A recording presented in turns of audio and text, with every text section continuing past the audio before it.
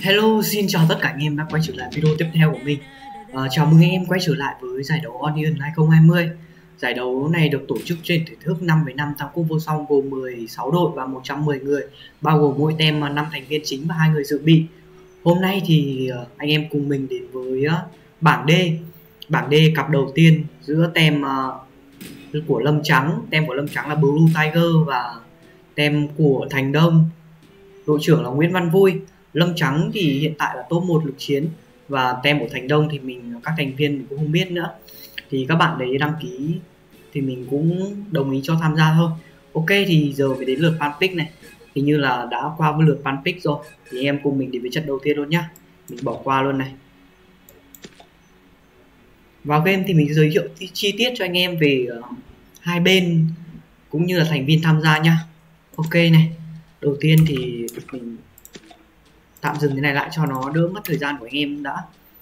Đầu tiên sẽ là bot Trung David. Trung David à, đội bên này đội bên à, trái của mình là tem của Thành Đông đội bên phải là tem của Lâm Trắng tem Blue Tiger. Ok bút David. Bút David là của ai nhận được anh em được đấy một tí nhá. Bút David là Dương Quốc Trung này.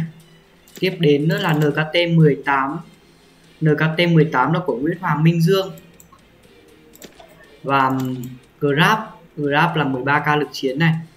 Grab là của ai? Grab là của Nguyễn Văn Vui đội trưởng của tem uh, à, Thành Đông luôn. Bút Thiên EV bút bút Thiên EV là là Dương Quốc Trung cầm và Phát 7 Phát 7 này thì anh ta như cũng thành viên các thành viên toàn chơi ạc của lon vậy phát 7 là trong vai của Minh Luân. Ok, thì bây giờ mình giới thiệu tem của Lâm Trắng nhá. Đầu tiên thì là đội trưởng Lâm Trắng là Mẫn Hy, hiện tại đang đứng top 1 chiến trong server. Và thứ hai là Hy Đang Hy Đang là Hải Đăng. Hải Đăng à, cầm hạc Hy Đang và Nam Củ Nam Củ là cũng là Nam Củ luôn, tên à, trong server.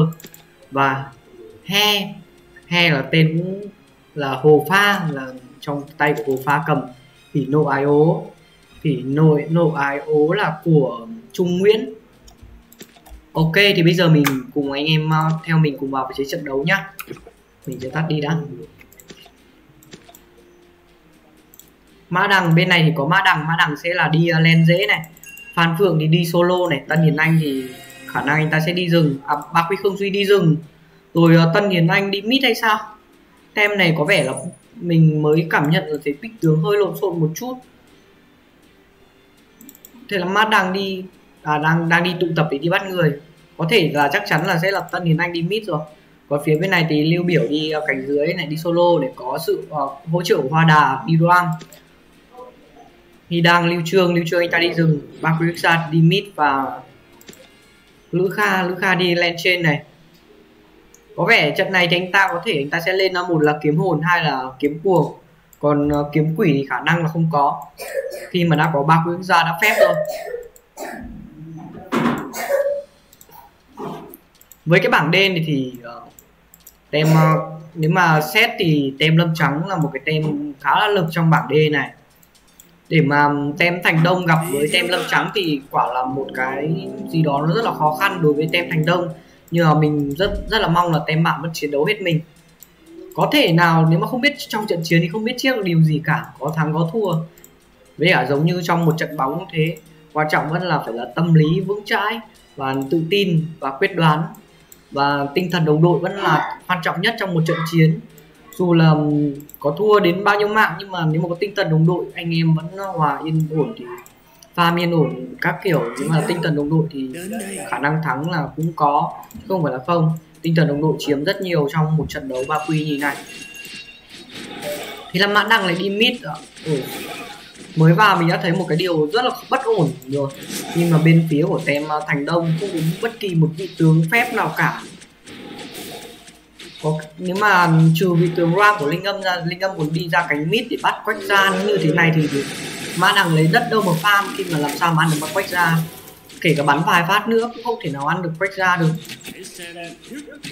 Một cái điều mình thấy khá là khó chịu đến từ bên phía của tem thành đông. Không biết là mình không nói về trình độ của các bạn nhưng mà trong một trận chiến các bạn cũng phải hiểu là phải pick tướng như nào cho nó phù hợp.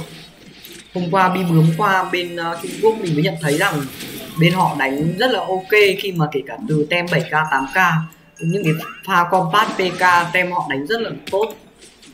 Và ngày xưa Việt Nam cũng đã có từng một thời như thế. Linh Âm đi Ram Linh Âm đang đi loang qua loang quăng khi mà pha này thì mạng đầu tiên sẽ dành cho Lưu Biểu. Rồi Lưu Biểu ăn mạng đầu tiên dành cho đội trưởng Lâm Trắng luôn. Có một mùi dường như quách ra trong khi đó thì mã đằng của quách thì đang solo ở mid mã đằng thì anh ta phải cần đi lên dưới dưới để farm, để phải có người bảo kê thì mới có thể farm mới nổ được. Còn đi cánh mid này gặp quách ra thì nó hơi căng, nhưng mà quách ra lại trong tay nam củn nữa. Nam củn trong các trận chiến mình đã từng bình luận một hai trận cũng thấy rất là ok. Tân Hiền Anh NKT 18 với một cái lượng đội hình như thế này thì có vẻ rằng tem một thành đông, bích tướng theo cái kiểu mà tình xưa nghĩa cũ rồi. Rồi mạng tiếp theo, linh âm lại phải nằm xuống khương duy thì anh ta đi rừng, anh ta tăng bách chiến thôi nhưng mà anh ta không thể nào yên ổn để farm được. Có khi hoa đà giết ba quy, giết ba quy không duy pha này luôn, ba không dành cho tem của lâm trắng. Mình đã thấy một cái mà không hiểu ý nhau và bích tướng cũng hơi lộn xộn. Đến từ tem của thành đông giải đấu này thì mình còn nói chung, thật là không quan trọng trình độ, nhưng mà quan trọng là cái nhiệt tình, nhiệt huyết trong một cái trận đấu. Kể cả về cái khâu mà chuẩn bị là rất là quan trọng, nhưng mà có vẻ là tem chuẩn bị cũng không tốt.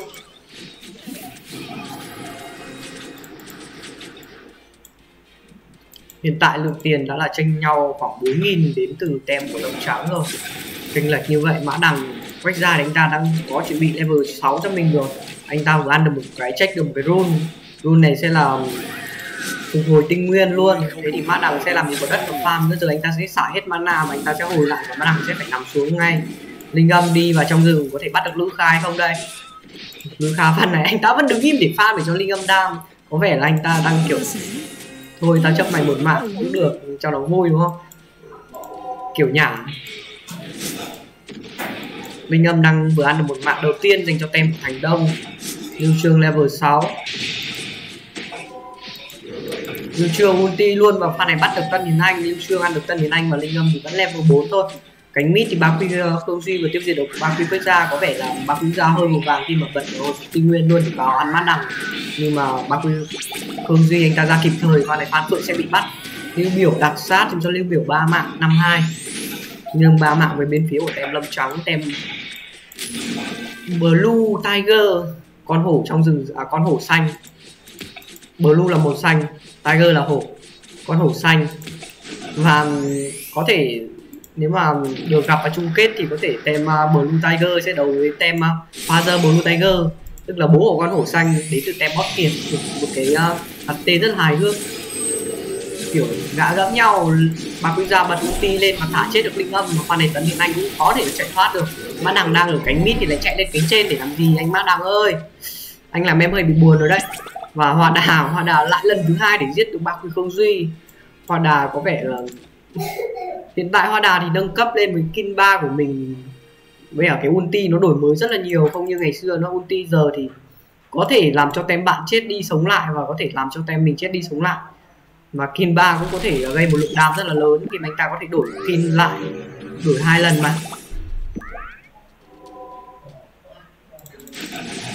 Mạng thứ tư cho lưu biểu trăng hoa đà đặc sát luôn. Và bạc phi phong duy. Mình tìm mã đằng xem, mã đằng anh ta núp đi núp lại để farm vào. Anh ta lên luôn cái giày. Nếu mà anh ta sao anh tăng lên bao tay tăng tiền ta? Nếu mà anh ta chỉ cần lên một cái bao tay 500 trước, sau đó thì anh ta mới nâng cấp lên. Thì nó có phải là ok hơn không? Anh ta do đủ tiền bây giờ, một k 9 thì giờ lên là lên một k 9 nữa thì nó hơi lâu và có thể mất thời gian farm khi mà bao tay kia nó tăng tốc độ đánh. Phan Phượng giờ cũng rất là khó có thể leo lên cao khi mà lưu biểu nó level 9 rồi. Anh ta lên cho mình một cái binh phù rồi. Hòa đà vẫn vẩn vơ ở đây mà ba quy không duy và linh âm cũng chả thể làm gì được cả. Mã đằng thì cũng đang rất là thọt rồi, trong bên kia thì bên kia đã có hai level 9 bên này thì chỉ có level 6 và level 5 thôi. Tần Hiến Anh đang ra lên cho mình một cái giày rồi. Pháp lực tử tinh hoa phan phượng lưu biểu thả rồng cũng đã gần chết phan phượng. Phan này anh ta còn nguyên một đầy một cái linh thạch và anh ta lướt vào thì phan phượng sẽ ngoẻo phan phượng đang hồi máu. Level 10 và level 6 một cái len mà bắt buộc là phải hành đối thủ nhưng mà phan phượng đang hơi bị thọt. Nói chung là quá là thọt luôn. 12 đến từ tem của Lâm Trắng, tem của top 1 Tem Blue Tiger. Cường Duy, bật ulti lên pha này có giết được Linh Biểu hay không? Linh Biểu làm choáng Ba Quy không Duy và không Duy đặt kin sai sai lầm. Phan Phượng ulti nào? Phan Phượng, anh như anh ta không có ulti một giây nữa thì hạ được Linh Biểu hay không? Và nhảy lại còn nhảy hụt nữa. Linh Biểu đang chơi trò đuổi bắt trốn tìm cho hai Ba Quy không Duy và Phan Phượng. Vẫn không thể giết được Linh Biểu. 11 2 rồi. Pha này thì Ba Quy ra cân hai không. Ném hụt đến từ mã đằng. Mà đằng hiện tại, không biết là anh ta lên cái gì cho mình đây. Còn bet lúc đầu còn bet vẫn chưa mang lên bao tay tăng tiền nên khó hiểu đến từ ma đằng khi mà mua rồi vẫn để ở nhà để cất, để dùng giữ dần dùng dần. Mang đồ lên mã đằng ơi! 10 13 2 rồi dù là các bạn có thể đăng ký đánh giải nhưng mà mình vẫn muốn trên cái tinh thần trách nhiệm. Khi mà mình đã đăng ký tham gia, thì phải đánh hết mình. Và Di đuổi theo Lưu Trương cả Linh Âm, Linh Âm mình có level 6, Tân Hiền Anh level 8 làm sao bắt được Linh Chưa đây, Lưu Chưa anh ta vừa phút thứ bảy anh ta đã có lỗ nguyên với giày máu cho mình rồi. Không thể nào làm gì được cả. Linh, linh Trương vẫn còn sống. Và bạn ba quy công duy ăn được ba Lưu Trương kiếm cuồng như anh mình đã dự đoán thì chắc chắn là sẽ lên kiếm cuồng hoặc kiếm à, hồn rồi. Đuổi theo linh âm và hạ được linh âm anh ta lên vào 10 luôn. Cánh dưới thì lưu biểu vừa hủy diệt đồng huyết vàng một tiến tháp bạc quý ra sẽ thả chết tân hiến anh và tiếp theo nữa là bạc song sát cho ba quỳ quách ra 16 ba. Gặp tem top 1 là một cái điều khó khăn, nhưng mà đánh làm sao mà cứ phải hết mình là được rồi. Mình không mong muốn là một cái trận đấu kết thúc quá sớm. Và ngày mai sẽ là trận cuối cùng của bảng D, giữa tem xe lâu và không ngại va chạm. Và sau đó thì sẽ tiến tới tứ kết luôn. Tân Hiền Anh vừa kết thúc được hoa đào tung hoành rồi. 16 4 nhưng biểu giờ anh ta không lên giày máu và anh ta lên một cái giày thịt tinh hoa. 41k tiền và 25k tiền.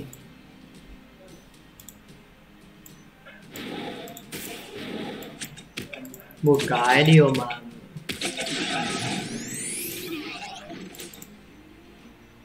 thời điểm lúc nãy thì lưu lưu biểu đang nói gì mình quên mất rồi. Giờ lưu biểu đang level 12 và lượng level hiện tại thì ba người, bốn người level 12 trừ hoa đà và pha này thì lưu biểu anh ta sẽ nằm xuống. Anh ta vẫn lách à? Làng né à? Học trường né à? Mã đằng vừa tiêu kết thúc được ba quy quốc gia gan dạ và lưu biểu anh ta vẫn lướt tân hiến anh mạng sẽ dành cho tân hiến anh 616. cố lên tem thành đông ơi. Mình hy vọng là tem bạn sẽ có thể cân bằng mạng được với tem của Blue Tiger thì nội IO kiếm cuồng, anh ta đã lên một cái giày hai rồi, giày nham thạch. Và ăn luôn con boss ăn ác kỳ lân. Ác kỳ lân thì sẽ dành cho kiếm cuồng cầm. Vì tem của bên top một lực chiến thì lết chính thì sẽ là kiếm cuồng. Không có một vị tướng ờ, lết tay dài nào cả. Sau đó thì kiếm cuồng anh ta sẽ lên với song kiếm và anh ta sẽ lên uh, hút máu thị huyết. Hoặc là phị huyết. Nếu mà lên thị huyết thì sẽ ok hơn là phị huyết. Ba quy không duy vừa tiêu diệt được hoa đà. Có vẻ là tem của top 1 đang giảm cái nhịp trận đấu lại. Thì mình tem top 1 chỉ đẩy lên thôi. Còn mạng thì ờ, có vẻ là đang uh, dần dần trở lại cho tem thành đông. Phút thứ 10 trong game rồi. Ba quy quốc gia bình thanh hồn anh ta đang có ẩn thân tinh nguyên nhưng Trương ulti vào tân hiền anh. Mã đằng vừa xả được vào linh trương và pha này sẽ là combat mã đằng thả ulti rồi nhưng không trúng ai cả. Và phiếu ra bật ulti thả thả liên toi toi và tân hiền anh ở ngoài úp úp úp thì bên này có hoa đà. Tiêu biểu tiêu diệt được linh âm. Tiêu biểu giờ đã lên cho mình cái trước viên rồi. Ba phiếu ra nhảy vào trong, tiêu diệt được tân hiền anh và sẽ là công duy không bên này thì mình nhận thấy rằng có ba quy không duy đánh cũng khá là ok nhưng anh ta lên một cái dây máu trước. Lên dây máu cũng tốt thôi. Lên mecha.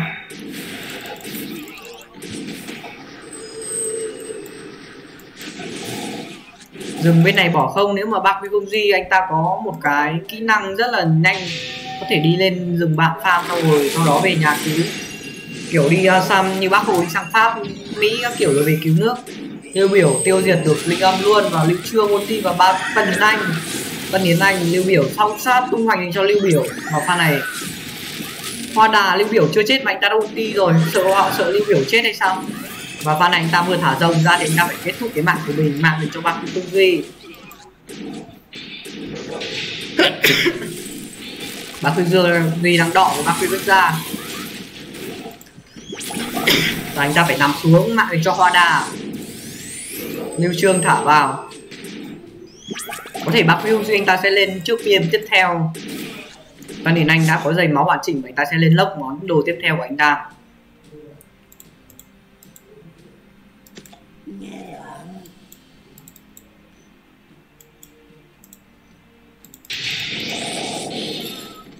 Tám hai mươi hai và Phan Phượng đang có một tình huống rời mạng. Có thể là do tỷ số chèn ép đánh mất tâm lý hoặc là cãi nhau và có thể là bị mẹ ganh, bố mẹ ganh hay là nét đóng cửa gì đó. Nhưng mà mình nghĩ là không phải do nét vì, nhưng mà nét đóng cửa thì không thể nào vào được. Và 10 giờ thì ấy rồi. Và Tân Đình Anh đang triệu hồi đồng đội của mình về. Bác Quốc gia thả chết Tân Đình Anh. Mà đằng anh ta lên luôn cho mình một cái điện kích với công trì mình cũng không thể hiểu nổi là anh ta đang muốn lên một cái đồ gì. Anh ta muốn bắn lan hay sao? Với lượng đam như thế này thì giờ solo với hoa đà cái bọn cua mình nói thật. Hoa đà có hai công ty mà. Kéo solo với hoa đà mà thua được chắc. Hoa đà giờ nâng cấp lên đam cũng không phải là dạo vừa như ngày xưa, không còn yếu đuối mỏng manh như ngày xưa nữa. Trong khi đó thì linh âm và level 11 và phát phượng level 9 thôi.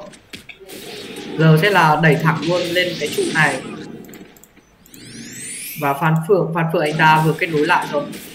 Sau khi mà tân hiền anh triệu hồi đồng đội của mình về thì phan phượng đã nhập vào.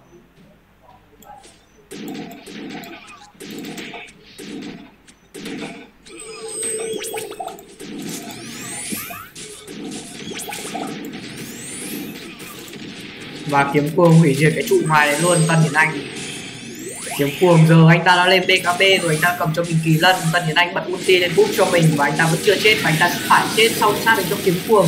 Tiếp theo là mã đằng anh ta sẽ nằm xuống. Mã đằng không thể nào đứng và bắn được.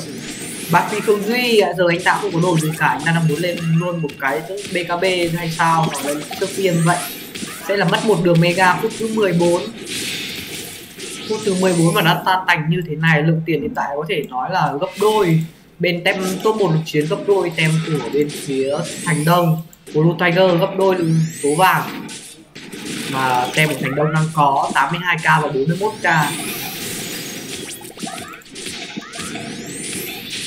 mã đằng sao mã đằng anh ta lại không dê sau kiếm? Có nếu mà anh ta không biết lên thì anh ta cứ học theo cái đồ lết bên uh, stem của Blue Tiger mà lên thôi cũng ok vì mã đằng lên cái đồ này thì khá là ok rồi đấy. Nếu mà ban hàng lên cho mình một cái song kiếm và lên giày mãnh liệt tật phong hoa thì nói chung là đồ chuẩn rồi. Nhưng mà anh ta lên lên, lên uh, cái chùy điện trời ơi. Đây là mình uh, không phải chỉ ném bạn lên đồ gì hay là mình muốn uh, chỉnh mình cao và mình chỉ nó kia. Thực chất là mình đánh rất là gà nhưng mà cái những cái cơ bản trong khi mà bạn chơi game mà bạn phải có, không phải là nói về trình độ hay gì cả. Mã đằng khi mà anh ta, thời điểm đầu tiên anh ta có tận một nghìn sáu trăm tiền nhưng anh ta không lên một cái bao tay 500 mà anh ta vẫn đợi lên thẳng của cái bổng lộc và một cái bao tay vàng này và anh ta còn con pet. 5 phút sau con pet nó mới mang lên thì mọi người là hiểu nó thọt như nào rồi. Khi mà cái bao tay tăng tiền này cứ 10 giây là nó sẽ tăng một lần tiền. 10 giây là tăng 20 tiền tiếng rồi, trong khi đó 5 phút. Một phút thì đã mất 120 và trong đó 5 phút thì mất gần 1.000 vàng. Và anh ta không được farm, trong khi đó anh ta phải đi mid nữa. Hàn Phượng anh ta vào rồi nhưng mà anh ta vẫn chưa đánh.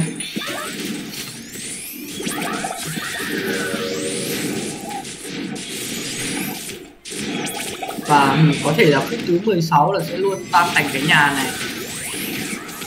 8 28 một cái tỷ số mà thậm tệ nhất từ đầu bảng đến giờ. 38 Bạc Quy ra được hồi sinh luôn. Bạc Quy ra được lốc lại pha này thì sẽ là 32 8 và còn một mình mã đằng. Mã đằng anh ta lên luôn một trừ liên hoàn chỉnh và anh ta có vẻ là rất là dích fit khi mà tiền anh ta đã không có rồi nhưng mà vẫn cứ tích lên một cái món rồi. Gọi là thôi trận này tao đánh được nhưng tao vẫn lên một món đồ hoàn chỉnh. Oh.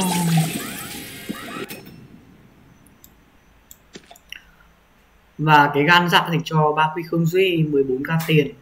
Mình uh, có một lời khen nhẹ nhẹ dành cho ba quy khương duy. Khi mà anh ta chạy grab nhưng ta vẫn đánh ok. Trong khi đó thì mã đằng thua tiền cả tân hiền anh nữa. Và anh em biết vì sao nó không có game 2 không? nãy thì sau game 1 thì mình kể cho anh em nghe đã. Sau đó thì mình sẽ kết thúc video này.